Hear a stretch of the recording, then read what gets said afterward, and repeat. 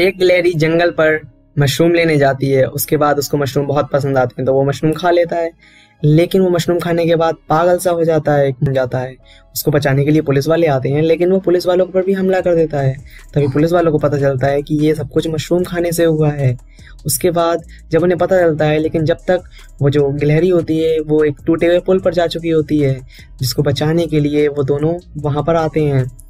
लेकिन जैसे ही वो उसको बचाते होते हैं वैसे उन्हें पता चलता है कि ये पुल तो टूटने वाला है, और जैसे ही वो वहाँ आने वाली होती है गिलहरी पुल टूट जाता है, लेकिन उनमें से एक ऑफिसर कूद कर उस गिलहरी को बचा लेता है।